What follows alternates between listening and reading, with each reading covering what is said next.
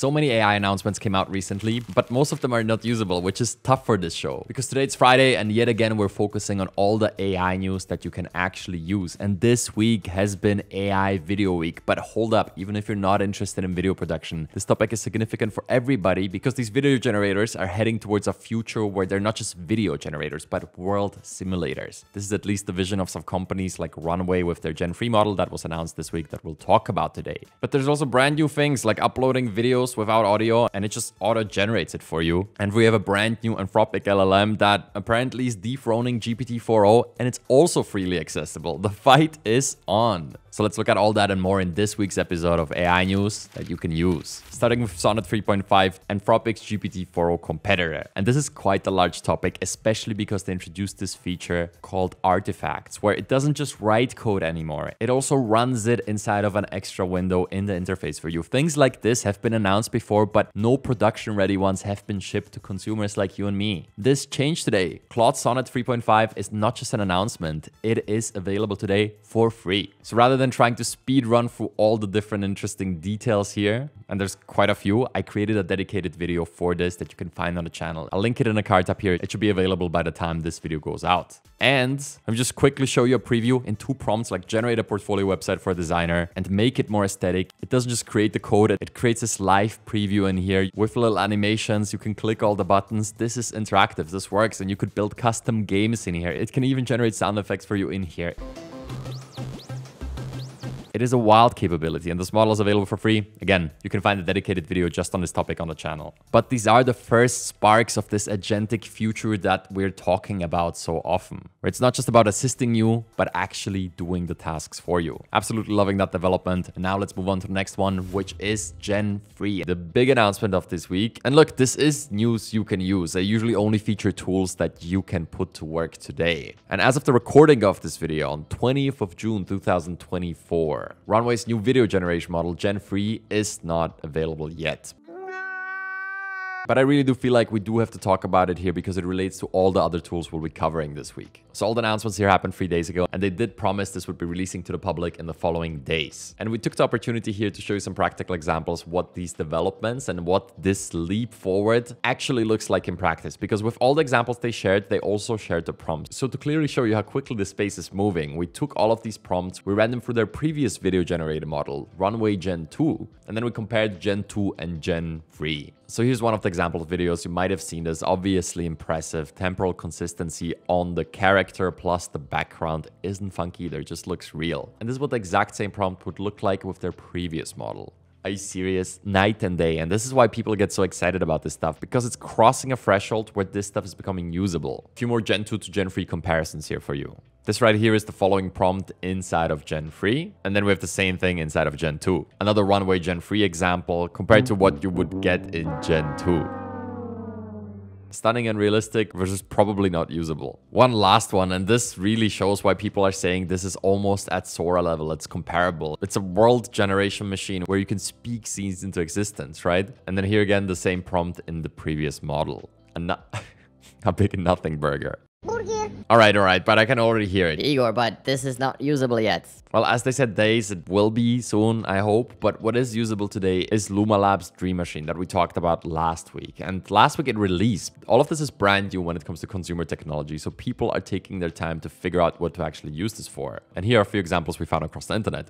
One of them would be these fashion ads. So you might have seen this with Midjourney before, where people generate really extravagant and avant-garde fashion designs that would probably not be feasible. Here they're doing the same, but with video. But to be fair, that's a bit of a playful approach and probably not the real world use case that people are looking for. But the second one really shows the potential of these tools because here it has been used to create a little documentary. All the shots that you can see in here, the drone shots, they're not real recordings. They haven't been licensed. They have been generated. And if some of these shots would show up in the middle of any Netflix documentary, you or me, we probably couldn't tell if we're not paying close attention. And again, as mentioned, all of these are created with Luma Labs Dream Machine. So it's freely accessible and you can use that today to recreate some of these shots. You have around 20 generations for free at the time time of this recording. But there's more, and this is a fun one. People have just been animating memes, and it turns out that this is actually one of the best capabilities within Dream Machine. If you give it a picture, not the meme generation, but the fact that you can give it a picture and that it will turn it into a video. There's a lot of context within the picture, right? So you don't have to do intricate prompting. It will just bring it to life, and it works quite well. I mean, some of these are legitimately good enough that they could be real videos. And then obviously there's also this idea of creating entire movies, and people have been attempting that too. Now, arguably character consistency is not there yet. So from scene to scene, the character will look a little different, which makes this entire idea kind of unfeasible right now. Nevertheless, I want to share this with you as you do have to account for the speed at which the space is developing. I mean, remember what we just talked about? We went from this scene to this scene within just one year. And it doesn't end there. The possibilities are actually quite deep. Some filmmakers are experimenting with this stuff and they're coming up with techniques like moving a camera around in the scene as you would with a Steadicam. But then because you can simulate anything, they can just make that Steadicam fly as if it would transition to a drone shot. But all of this stuff would have been possible yesterday or a week ago. But the budget you needed to create a scene that is comparable to this with VFX and traditional production would have been 10,000x higher than what this costs. Maybe even more because you have free credit. So essentially it's free versus thousands of dollars, if not tens of thousands of dollars to recreate something like this shot in real life. Sure, it would look more real. Sure, it would be probably more usable. And yes, I'm not even accounting for permits. And to round the segment on Luma Labs use cases out, I want to point out that they already announced some new features, which are going to be essential because right now it's only text to video or image to video. But what they announced here is editability. So you can alter the subject, you can alter the style selectively. You don't have to redo the entire shot, which is essential. And while this is great, over time I expect something like Runway's Gen 2 capabilities, which are currently most advanced in the entire industry when it comes to consumer products, to ship to all of these tools, including Dream Machine and Gen 3 once we get our hands on it. If you're not familiar, Runway has been adding tool after tool, and there are just so many ways to alter the video that you generate. They have video to video, background removal, they have brushes where you can selectively change or animate only a certain part of the scene. And then they even added multiple brushes, so you can do that to different parts. So with some of these improved generators plus their tooling, you're gonna be able to dial in a lot of details on these very capable models, which is something that has been unthinkable a few weeks ago because the base models were just not that good. But let's be real, the things that these models really excel at from what we see here across Gen 3, Sora, and Dream Machine is these experimental and creative use cases. Hyperrealism might be the holy grail because then you can do film-like narratives. But for anybody willing to experiment with these world generation capabilities, I mean, this is a brand new idea. This is something we didn't have before. You couldn't just type in a few words and make them materialize in form of a video on your screen before. If you're willing to experiment with that stuff, this is an incredible time to be alive. Oh, and little human side note, if I look a little tired, it's because I am. My neighbors have been reconstructing for the past five weeks, waking me up every single day.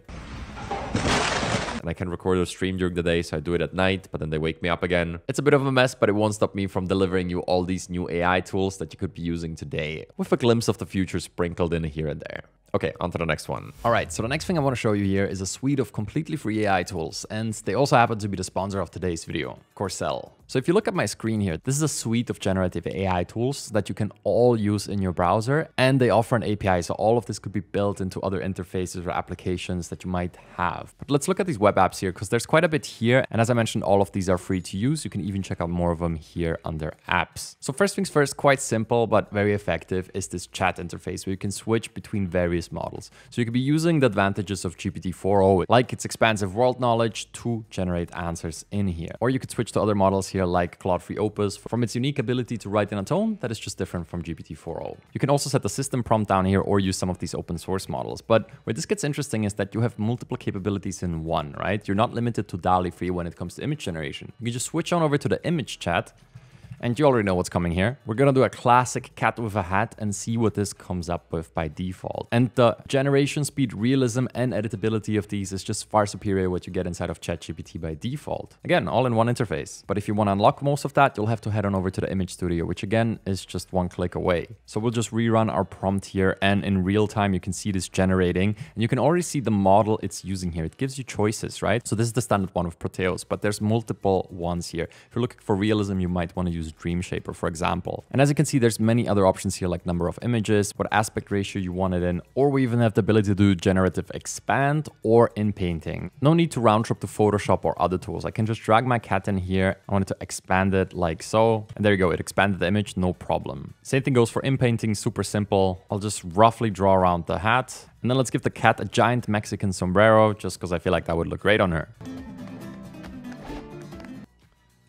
yep, turns out I was right. You can see that it maintains the style so it fits the image here. Before, after. And this actually just scratches the surface. There's many more, like an avatar tool where you can upload your own images and generate custom avatars from it. Or this character chat where you can talk to some of your favorite characters. And even a prompting trainer where you need to guess what the prompt here is, and then you can compare the results. As I mentioned, all of this is freely available. Plus, there's specialties that all of these tools can be easily included via an API to an existing application might already have. I just go to API, say add API key, and then I can add functionality like inpainting to existing apps. So if you want to try out any one of these tools, it's the first link in the description. Thanks again to Corcel for sponsoring this video and making this magnificent cat happen.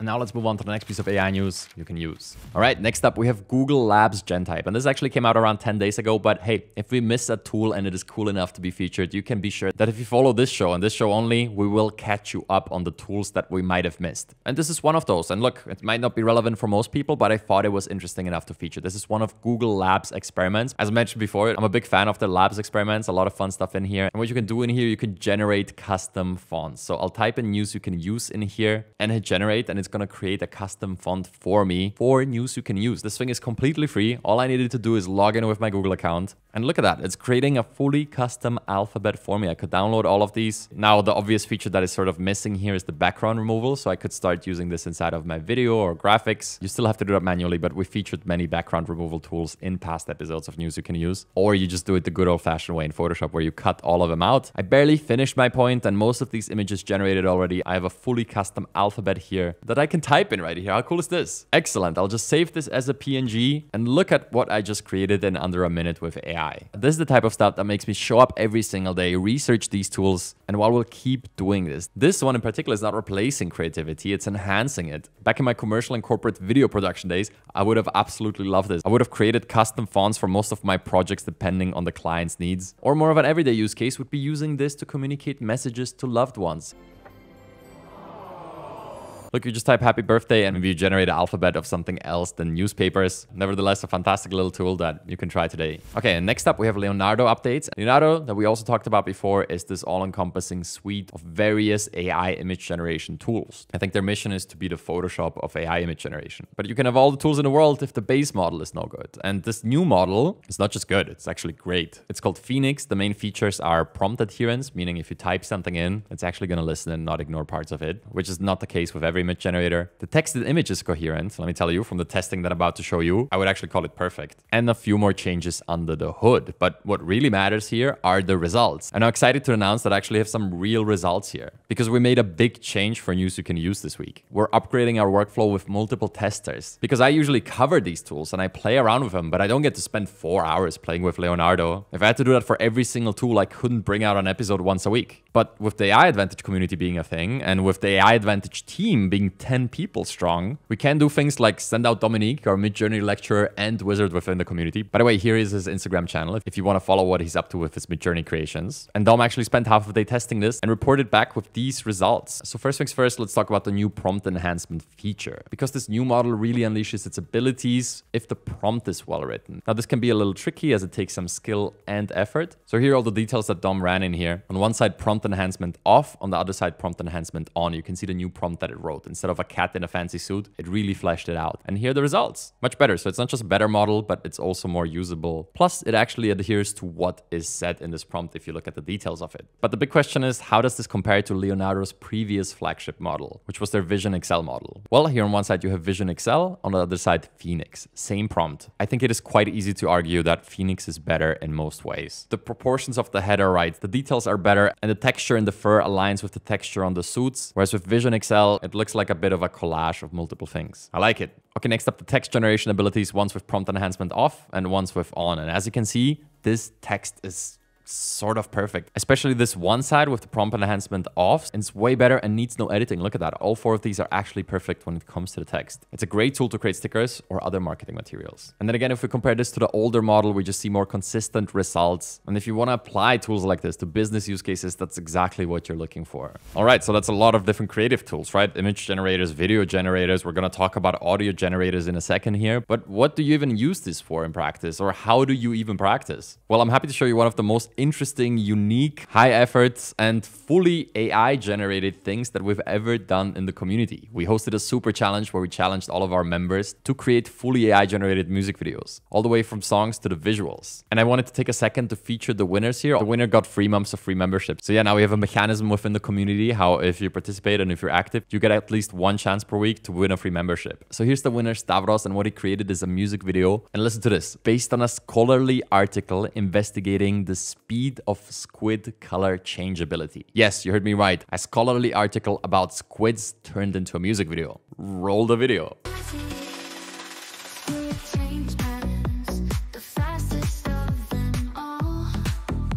Okay, I guess I'm learning something.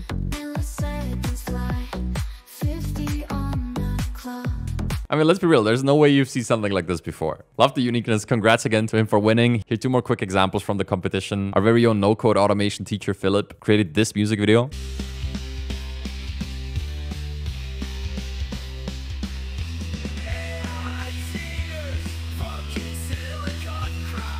Yes.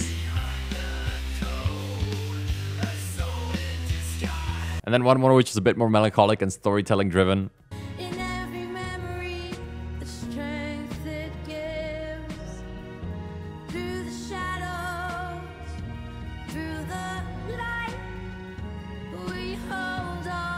So there you go. I just really wanted to share this with you. So much creativity with some of these, and I just love to see it. When we get tools like this, you get the choice. You get to complain how AI is going to destroy creativity, and there's nothing we can do about that anyway. Or you get to embrace it and create things that have never been done before. To each their own, but as you know, I'm in the latter camp. All right, so for the last piece of AI news you can use this week, we have ElevenLabs video sound effects, which also comes with an API, and it's exactly what it sounds like. You upload a video with no sound and it generates the sound effects. Now something similar has been announced by Google's DeepMind, but it's not accessible, so we won't be extensively covering it here. Essentially, it's their video generator that also does audio. That is coming soon, I guess.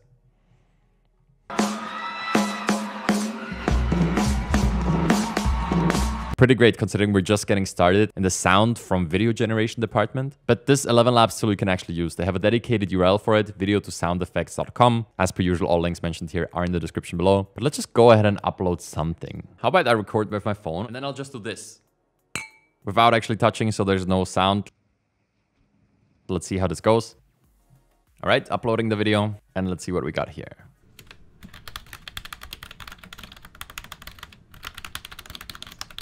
Okay, so no sound effect, as you can see. What it obviously seems to be doing here is analyzing the image for anything that it can see. So it can see the keyboard, the computer, the screen, and it's generating keystroke sound effects plus some background foley of electronic static. Bit of a shame that we didn't get the sound effect. But if you need sound design for a scene, kickstarting your project with what it did here and these four different generations is actually very, very useful, although not 100% complete. Plus, as mentioned, they released an API for this, so you can build this into other applications, include this in workflows. With a little bit of code, you could string together a pipeline where you generate images with something like Leonardo, then you turn them into videos with something like Dream Machine or Gen 3. And with video to sound effects, you add the sound in and you could create automated music videos, explainers, documentaries, maybe sprinkle in a little bit of HeyGen virtual presenter and use all of this as B-roll and you have a complete YouTube video, I suppose. Now, sure, none of these are fully there yet, but as you can clearly see, we're progressing week by week and I'll be around to cover it all. I hope you enjoyed this video. Summer is starting, so I'm finally visiting my family and taking a few days off. But don't be afraid, there's gonna be a new video every single Friday because companies keep releasing new apps, people keep coming up with new use cases, and I'm here every Friday to cover them for you. All right, I hope you have a good one. See you soon.